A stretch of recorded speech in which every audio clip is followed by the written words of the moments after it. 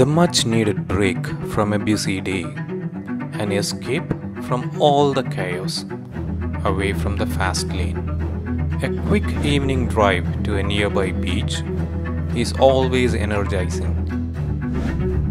To sit at the beach just like this and watch the calm waves, it's so peaceful. But once the peacefulness fills you in a few moments, what next? Count waves? Munch some peanuts? Or build a sandcastle just like I did in the sunrise episode?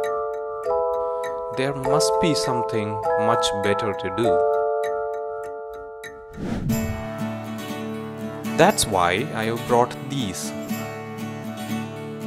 kites. The kites I have got with me are single line static kites which I bought from the famous sports store Decathlon.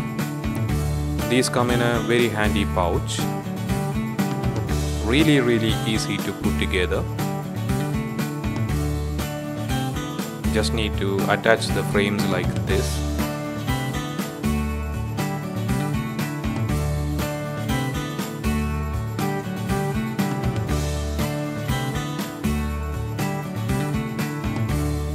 and then attach this line. And it's ready to fly.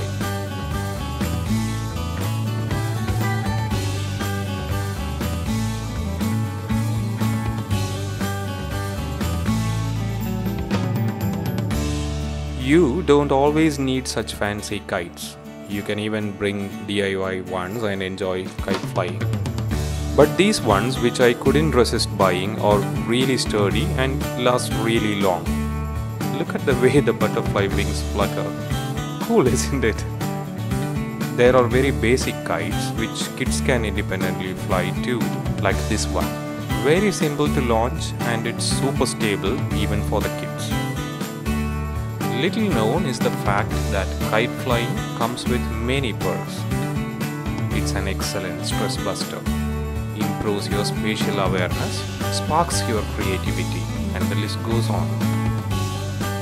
And most importantly, it's a great way to engage in something fun at the beach.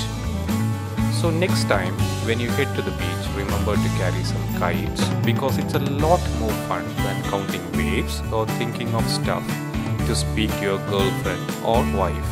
What did you just say? Oops, you weren't supposed to hear that.